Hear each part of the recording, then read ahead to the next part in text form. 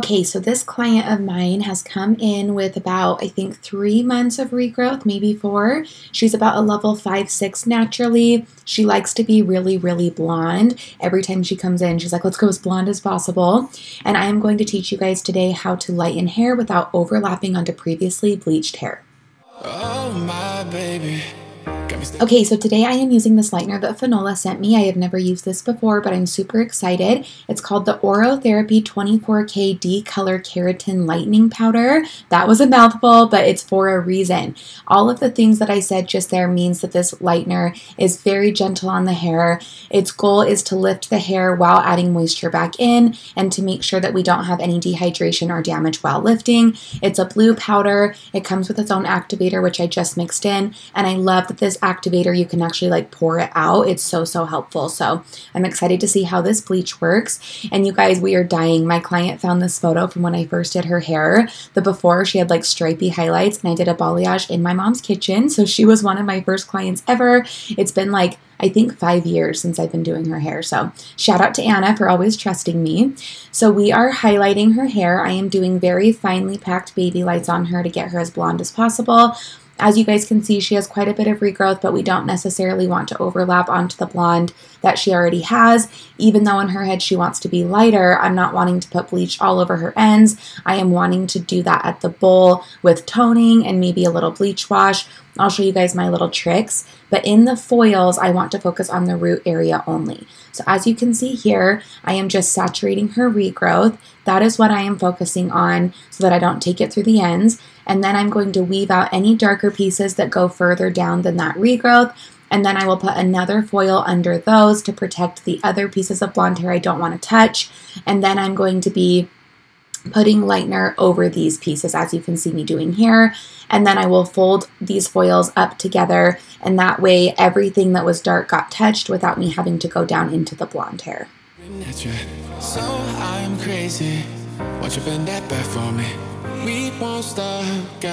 Most of the time, overlapping is really easy to avoid if they have a lot of regrowth. The hardest part is when they have like half an inch of regrowth. So it's definitely easier on a client like this, but I think some of these tips will help you guys. Just make sure that if you're using a lightener that swells, that you don't go all the way down and you try not to feather down into any of the lightened hair.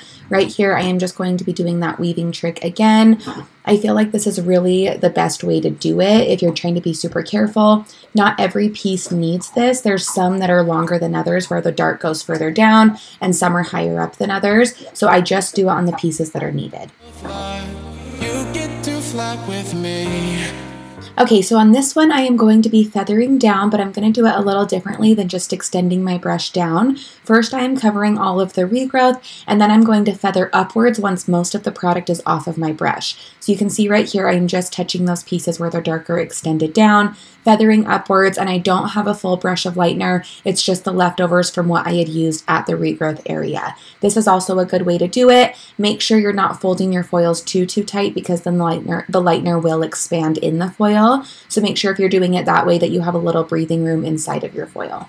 Another good tip is to use this Framar brush. It is a smaller one and it is meant for things like this in my opinion. I love using it for both balayaging and root touch-ups like this one because it is tiny. It can give you a more precise application, especially for hairline detailing like I'm doing right here. I am going to be doing a few slices around the face just to make sure that she is really bright in the front and using a smaller brush helps for that. It ensures that I don't take any product too far down and it just kind of keeps it really clean as you're applying. Okay, so she processed for about 55 minutes. I let her sit almost an hour just because she is so dark and she pulls warm because of that. I have her sit under the dryer for the last five minutes and now we are pulling her foils. And before I get any hate about her not wearing a cape, this client of mine requested not to wear a cape because she was really hot that day. So she was totally fine without one. I just know I'm going to get a comment about it. Um, so we are now washing. We use a clarifying wash called Maxi Wash by Kevin Murphy. I think I've mentioned this in a lot of videos before, but I always like to clarify the hair before we tone. That way we can remove any impurities, bleach buildup, and we give a really nice canvas to tone on. So we are doing that first.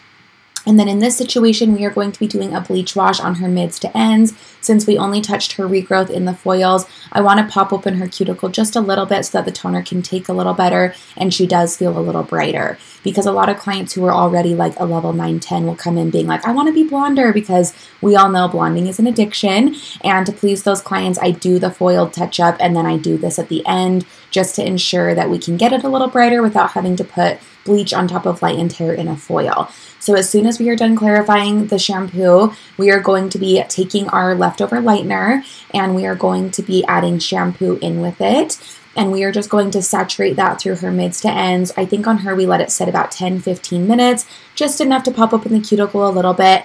And like I said, since she's already really light on the ends, she doesn't need much. It's just a little extra something before we tone.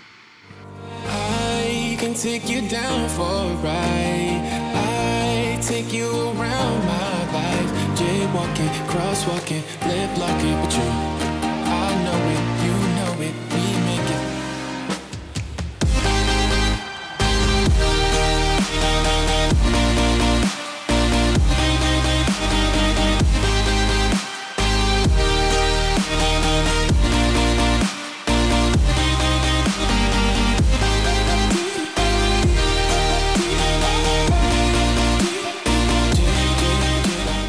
Right, so after that bleach wash is done sitting, we are going to be coating her ends in the Olaplex number two. You guys know we love to do this before we do the root tap. That way the client gets a treatment and it also protects the hair from any of that root smudge transferring down. So that's what we are doing here. And then we are brushing through it just to make sure that everything is nice and smooth. And then you will see my assistant part it with the comb and then we are going to start applying the root shadow.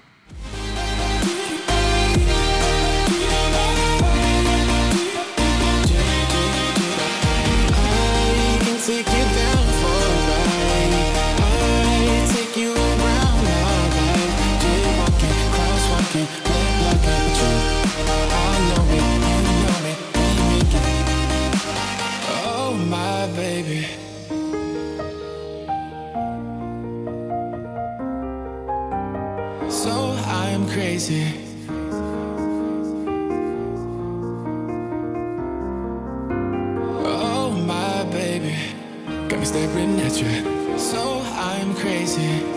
You bend that back for me? Also, make sure that you guys are following both me and my company on Instagram because we have some exciting things launching in a couple of weeks.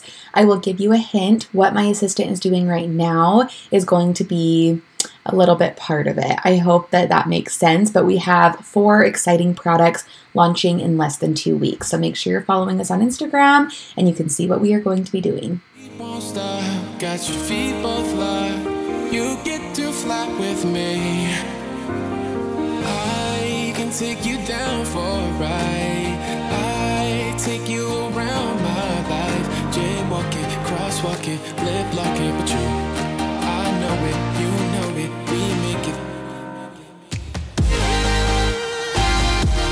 So we are just doing a root shadow on her. She likes it to be pretty subtle. I don't like to tap on her because her root is so dark that I want a little bit of more depth at the base and I want it to be a bit of a more natural grow out. So we're doing a shadow, which is just kind of in between a tap and a smudge. I plan on doing a video on the difference between a tap, a shadow, and a smudge because those are the three techniques that we use the most and I wanted to showcase the difference. So we are using Redken Shades EQ 7N, 7NA, and we are going to let this sit about 10 minutes and then we will tone her ends.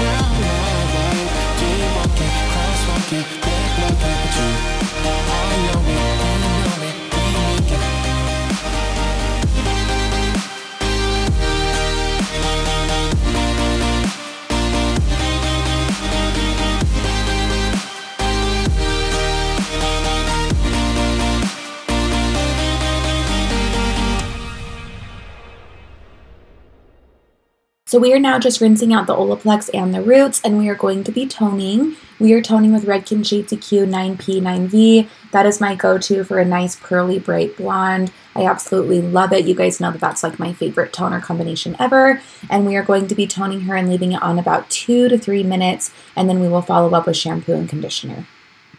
Oh my baby, got me staring at you. So I'm crazy. Won't you bend that back for me? We won't stop, got your feet both locked. You get to fly with me. I can take you down for a ride. I take you around my life. Jaywalking, crosswalking, lip locking, but you,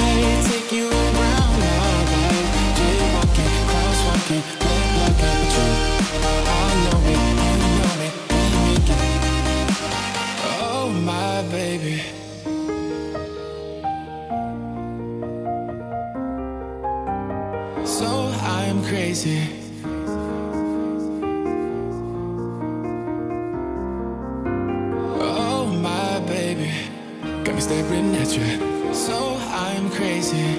Won't you bend that back for me? We won't stop. Got your feet both locked. You get to fly with me. After toning, we either do one of two things. We will either purple shampoo and mix it with regular shampoo to dilute it a little bit, but to help reinforce the toner. Or if the toner did sometimes go a little too ashy, we just regular shampoo and conditioner. That's what we did on her just because some areas of her hair that were super porous picked up on more of the ash tones, and I just wanted to strip it a teeny tiny bit. So we used Kevin Murphy's Hydrate Me Wash, followed it with the Hydrate Me Rinse, and now she is all toned, dried, and ready to go. I am just giving her a little health trim by dusting her ends. She seriously has the best hair ever. We chopped it not even a year ago, like just below her shoulders, and it's already grown this long. And I'm just amazed. She takes such good care of her hair, and it helps that we don't overlap that lightener every time. We do little tricks like I have taught you guys here today. So I am just dusting her ends, and then we are going to be curling her.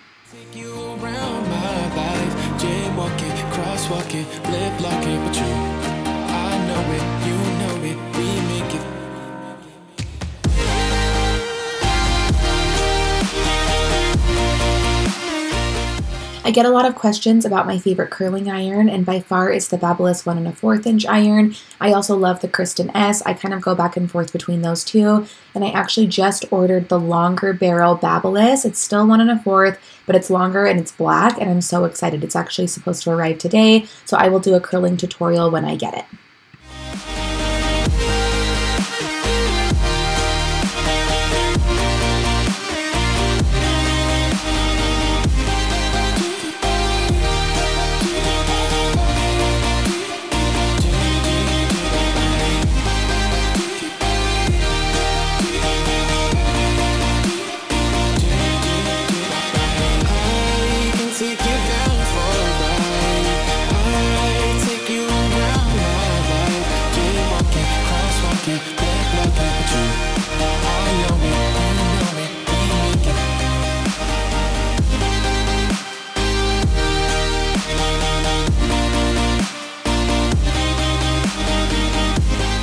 Okay, now that she's all done, we are in front of our backdrop and I am just taking photos. At our salon, we have a white backdrop, a black backdrop, and then also a rose wall. In the new salon, we will have the same things plus a few extras. We have like a whole little room dedicated to photos, and we will also have a photo studio in our warehouse, which I'm super excited about because I really do think this is like one of the most important parts of a hair appointment. I want to do a hair, or sorry, not a hair, a video on everything it takes to take a hair picture. So, like in depth, social media and photo taking 101. So let me know if that is a video you guys would like to see. Once again, thank you so, so much for watching, you guys. It means the world to me that you guys support me and watch my videos. I am now uploading three times a week Monday, Wednesday, and Friday. So I am here for you guys. Let me know what you would like to see in the future. And don't forget to like and subscribe. Oh my baby, got me staring at you. So I'm crazy. You bend that back for me?